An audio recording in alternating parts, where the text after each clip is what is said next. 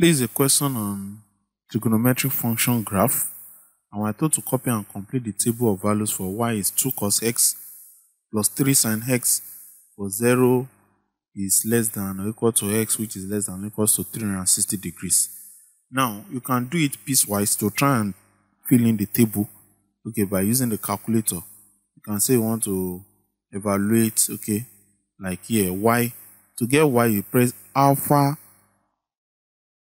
and where we have y in red, okay, is equal to 2 cos x plus 3 sine x. Okay.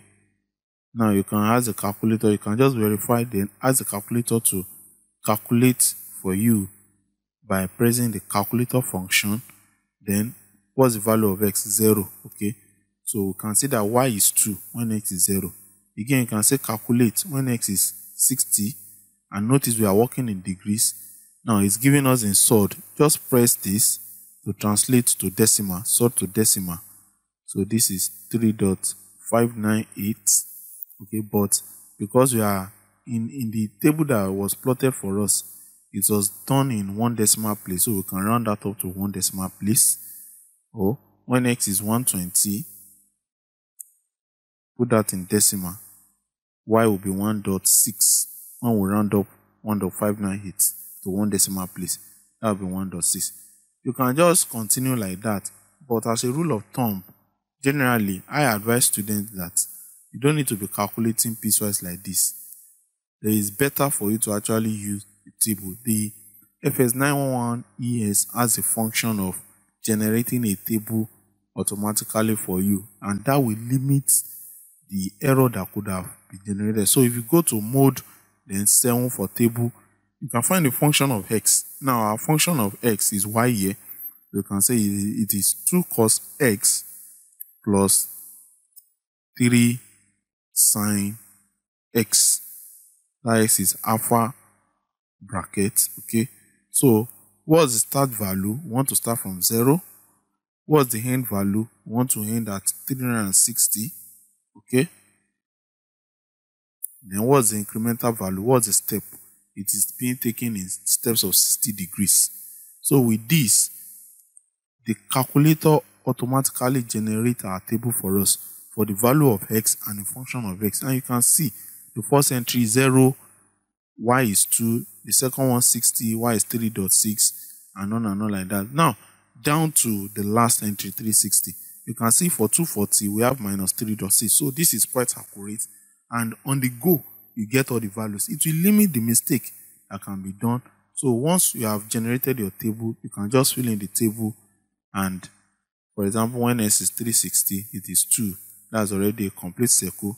In degrees 360 and 0 are actually the same thing. So this is 2.0 so with that we are through with our table that we are asked to complete so we are to use this table to now plot our graph. But on the graph, we are to use 2 centimeters to 60 degrees on the x-axis and 2 centimeters to 1 unit on the y-axis. So, oh, no problem. They've given us the scale. We don't have any problem with that. So, here, already we generated our table. This is the table of values for the equation y is equal to um, 2 cos x. That's 2 cos x plus 3 sine x. Okay? That's what we generated previously.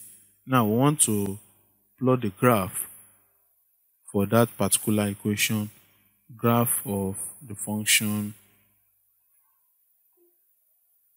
y is equal to 2 cos x plus 3 sine x. We've been given the scale to use, but we need to see the distribution of our axes. Now, for example, on the x-axis, we don't have any negative value for the value for, for the x okay? The degrees are all in positive range so we need to move our horizontal our vertical axis towards the left so that we can cater for all the positive values of x. But for y we have negative and positive values. We have plus 3.6 as the highest value. We have minus 3.6 as the lowest value. So we need to scale that evenly above and below the horizontal axis so using the scale that we are giving 2 centimeters represent 1 unit on the y-axis, then 2 centimeters represent 60 degrees on the x-axis. This is what our graph layout is going to look like. And the scale is that 2 centimeters represents 1 unit on the y-axis, while 2 centimeters represent 60 degrees on the x-axis. So with this, we can go ahead to use the values that we have in our table to plot our graph. Like in the first case, when x is 0, y is 2. So x is 0 degrees, y is 2. That's being shown in blue. That's y 2. When x is 60 degrees, y is 3.6. So for us to have 2 to 3 in these divisions and there are only 5 boxes, that means each of the boxes is going to take dot 2 units. So 2, 2.2 and co. So 3.6 is going to be here. Okay. And then we have 60 degrees and 3.6. Their point of intersection is going to take our second entry. So we have 60 degrees and 3.6. Then when x is 120 degrees, y is 1.6. When x is 180 degrees, y is minus 2. That's shown in the cross. And I'm just dotting it out now. When x is 240 degrees, y is minus 3.6. That's here. Okay, where the meet is here. So this is 3.6. When x is 300 degrees, y is minus 1.6. Okay, that's located here.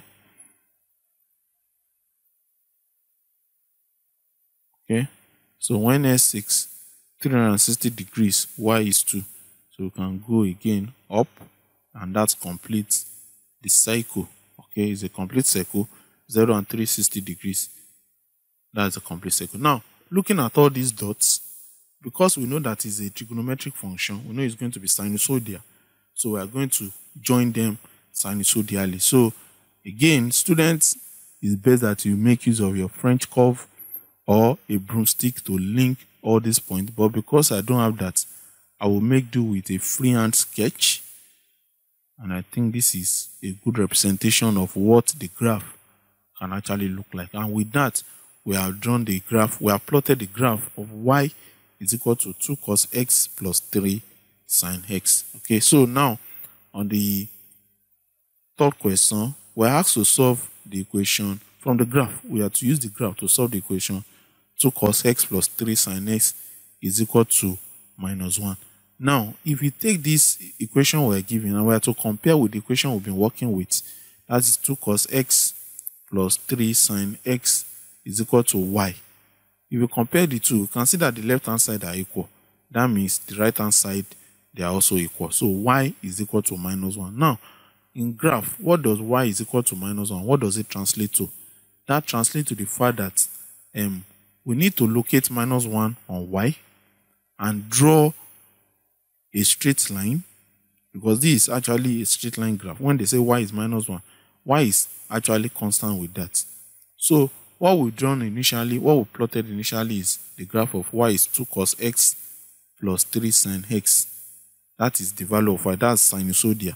But now we are seeing that y is a constant, y is minus 1. So we just go to um, the point where we have minus 1 on y.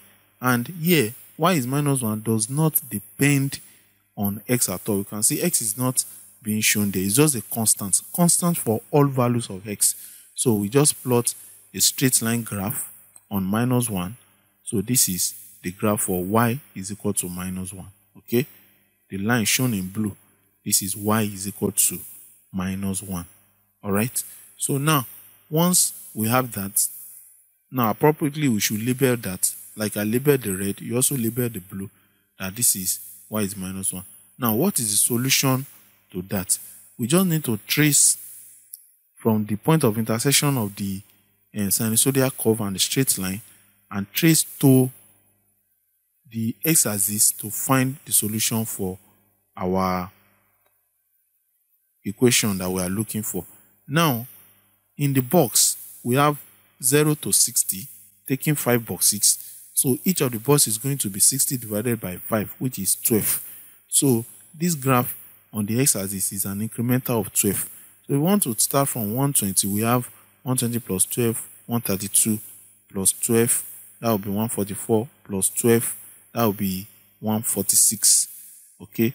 And then plus 12, we can see that that will be um, 168 but our intersection here is in between 146 and 158 so if we are to take the mid value of that we know that we'll get the solution for the first one and the second one we can say that it's just a small increment of one box after 300 so it will be 300 plus 12 which will be 312 you need to understand this analysis if 0 to 60 is 5 boxes that means that each of the boxes is 60 over 5 which is 12. So the incremental value is 12, 12 per small boxes. So here we now have that the solution as we have traced from the line y is equal to minus 1, which is shown in blue, to the sinusoidal curve is giving us the solution to this equation 2 cos x plus 3 sin x is equal to minus 1 to be x is equal to 162 degrees and x is equal to 312 degrees. That is the solution to this particular equation that we're asked to find using the graph that we're given. All right. Okay, so with that, we can now go to the last question that we're given. Now, make it a point of duty to show the equation, like for the red, the one I'm showing here, which you will show in pencil, you can say it is y equals to 2 cos x plus 3 sin x. For the one shown in blue, you write y is equal to minus 1 okay? That will hand you your full mark. But because i'm just using this i don't want it to be clustered so that you don't see what i'm doing. That's why i'm just omitting it. So now in the question 2 when x is 342 degrees we're asked to find the value of y so what we need to do is to locate the point 342 now we have 312 after 312 312 plus 12 that will be 324 plus another 12, that will be 336, plus another 12, that will be 342. So that's just the small box before 360 degrees. So now, in between the two, in between 336 and 348, we are going to have 342 degrees. And that's what we need to trace. Okay, so here is 342 degrees. So if we are to trace it up to our sinusoidal curve, okay, so what's the value on the y-axis? That value is 1. So we just need to, from our graph anyway, now I will, I will always advise, even after getting this on the graph, confirm by calculating manually. In this case, I'm going to use the calculator, but from the graph, I can see that when x is 342 degrees, y is 1.0 degrees. We are working in one decimal place. So if you are to use your calculator, just say that 2 cos x plus 3 sin x, and now we want to solve for that. What will it be? Our x is now um, 342, and you can see this is 0.97, which is approximately 1. So we're on the right track. Our solution is 1. And with that, we have finished our question on this graph of trigonometric function. All right.